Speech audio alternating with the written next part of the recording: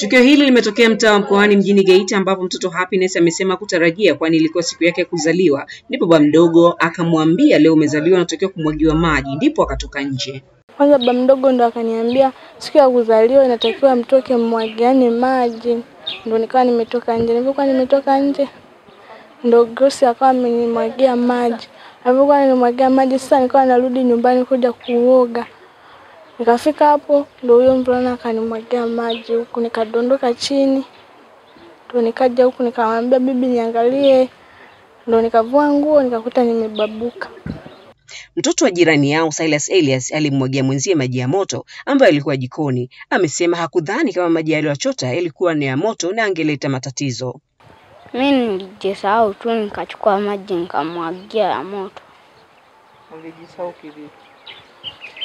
Nilikuwa nimetoka na haraka ndo nikamwagia.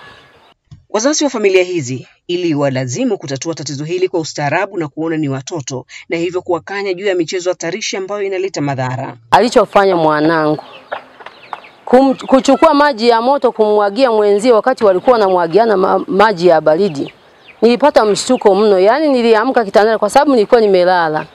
ameomba dira kavae ngui na msumbui na kwina anguka mali na nata kwenye nani kwenye vidonda nimechukua maji kango nikakamua tu nikamwekea nikasema labda vidonda visikawa vigumu vinakukaza vinakuumiza kamwomba mamake dira ndiye amevaa hilo hapo Kwa sasa Happiness anasikitika kukosa mitihani kwa sababu ya majeraha. Kwa sasa hivi kwa jeraha nililonalo nimeshindwa hata kufanya mitihani. Wenzangu tu wanafanya mitihani, mi niko nyumbani nauguza tu kidonda Ni mitihani gani? ya pripimoko. Kamishna msaidizi mwandamizi wa jeshi la polisi Henry Mwaibambe anafafanua zaidi juu ya tukio hili.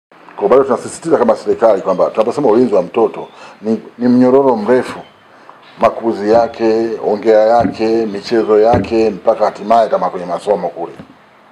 Kwa hiyo tunaenda kusisitiza watoto, lakini hali ya huyu victim, huyu mtoto anaendelea vizuri, lakini ameshindwa kuhudhuria ma, masomo kwa kufanya mitihani ya ya pre, wanaita pre-mock.